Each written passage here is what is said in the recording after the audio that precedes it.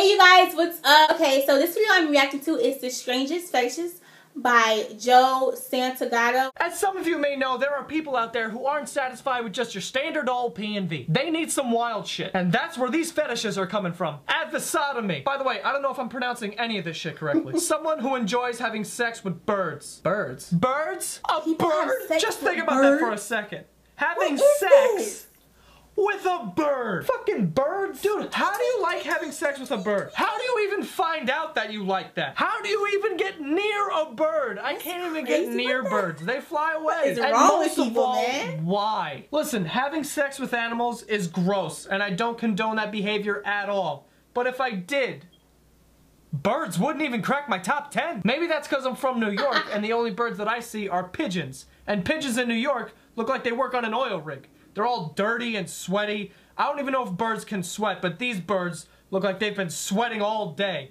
And there's fucking bird baths on every corner in New York. But they're like, fuck that. They're just dirty all the time. I don't know about the rest of you, but I'm not banging birds. Melissophilia. To be sexually aroused by bees. The fucking bees aren't safe either. We're banging the bees now. I read up on this one because when I first saw it, I got so confused. I got a sharp pain behind my right ear, and I don't know what the fuck that means, but I think it means my brain's like melting slowly. So anyway, these bee lovers don't try to bang the bees. What they do is they take the bees and they place them on their dicks. Now, I don't think anyone realizes how dangerous this shit is. For starters, yeah, obviously this thing's gonna sting your dick, but I don't give a shit No. about you. If you put a bee on your dick, you deserve to be stung. The problem is, certain bees die after they sting There is something. crazy and people let's out not here. forget that when the bees Why die, would you we do die. that? We Like, need them to why?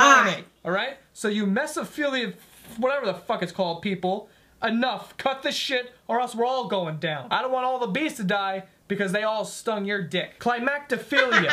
Being sexually aroused by falling downstairs. What? See, shit like this is so interesting to me because I'm totally different. When I fall downstairs, my first reaction is fucking ouch, that hurt. I hope I didn't break my ass bone. Fuck stairs.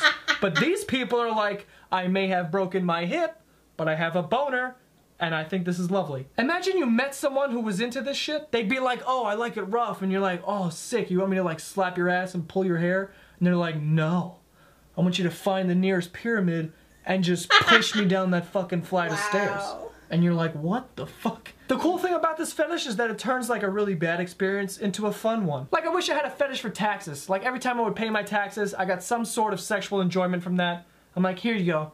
Take my money. And I'm just rock solid the whole time. Mechanophilia? Definitely fucked that one up. To be aroused by machinery, most often cars. I've seen this on My Strange Addiction before. It was like some guy who was in love with his car. He would make out with his front bumper all the time, which is fine because at least this doesn't put the whole world at risk like you bee fuckers. However, this is still pretty strange and I have questions. First off, how do you have sex with a car? I asked my friend this and he said, obviously the tailpipe. How the fuck is that obvious? First of all, a tailpipe is like this. man? Who's gonna be able to feel anything in here? Whose dick is this thick? Not mine. By the way, this fetish applies to any like machinery, okay? It's not just cars. It's vacuums, vending machines, all kinds of shit, machines. alright? No appliance is safe. Oculoligtus. That was not even fucking close. Being aroused by licking someone's eyeball. Again, I have to ask, you how did you find out eyeball? that this was the thing that gets you off? Did you already try everything else? Where you're just like, alright, I already had P, M, little bit of A,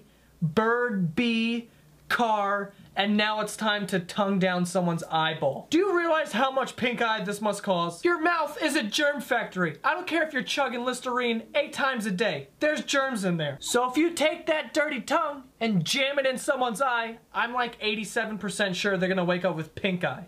A dark pink eye, like a severe case disease, of pink man. eye. Proctophilia. To gain sexual arousal from flatulence. Often on cakes. Often on cakes? Why would someone farting on your cake make you happy? What You're telling me this, that people want someone to come into their house, sit on their cake, and just rip a dirty fart onto it? I've heard it all! Hey!